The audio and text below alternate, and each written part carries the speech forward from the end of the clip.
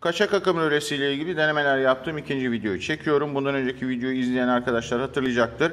Kaçak akım rölemin bağlı olduğu linyede diyelim herhangi bir alıcı yoktu. Alıcı olmadığı durumda ben kaçak akım rölemde topraklama iletkeniyle nötr iletkenini birleştirdiğimde kaçak akım rölem açmamıştı. Şu anda toprak nötr kaçak akım rölemin çıkışında birbirleriyle bağlılar, temaslı haldeler ama kaçak akım rölem evet yine açma yapmadı.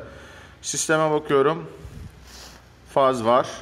Yani şuradaki siyah kablo benim fazım. Mavi kablo ise benim nötrüm ve nötrüm çıkışta topraklama iletkeniyle temaslı halde ve şu anda açma yapmadı. Bunu siz dairenizdeki kaçak akım rölesi olarak düşünebilirsiniz. Bu sizin daire girişiniz ama daire girişinizin öncesinde de oradaki ana kolon hattında diğer daireler alıcı olarak devreye giriyorlar.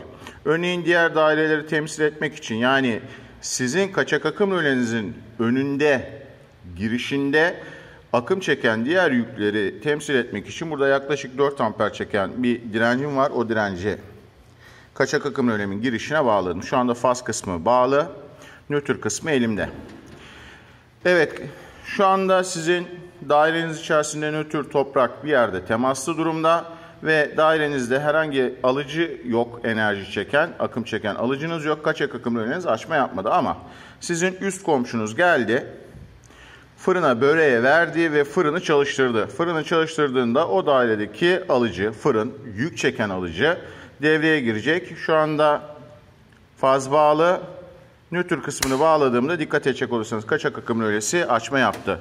Yani sizin kaçak akım rölenizin çıkışından ziyade girişindeki alıcıların durumu da çekmiş olduğu yük miktarı, nötr iletkeninizin yoğunluğu kaçak akım açmasında etkili. Peki neden böyle oldu? Yakında yayınlayacağım. Kaçak akım rölesinin ıncığına cıncına varana kadar incelediğimiz ve anlattığım videoda olacak.